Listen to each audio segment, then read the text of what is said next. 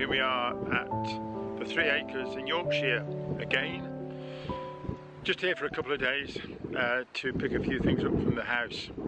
Can't see my mother-in-law because the home that she's in is in fact closed because of the pandemic.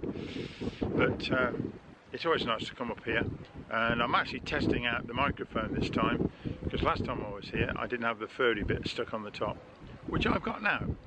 Um, the rain stopped fortunately, I was chucking it down earlier it's um, uh, the sun's come out and it's quite pleasant but it's a heck of a view from up here and we're about 800 feet up on the top of the the moors, the hills of Yorkshire, the Pennines.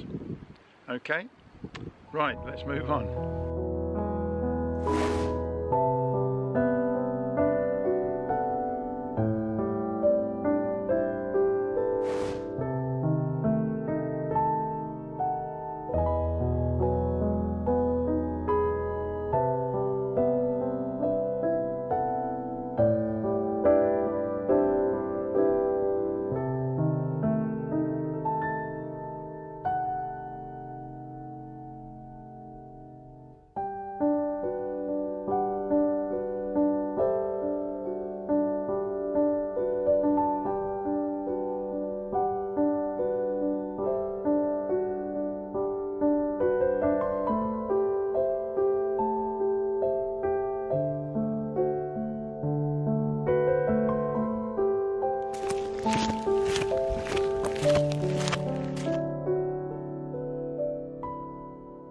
Well, I will have to mention again that it was in 1974, 46 years ago, that Margaret and I got married in Huddersfield and we held our wedding reception at a pub on the top of Castle Hill.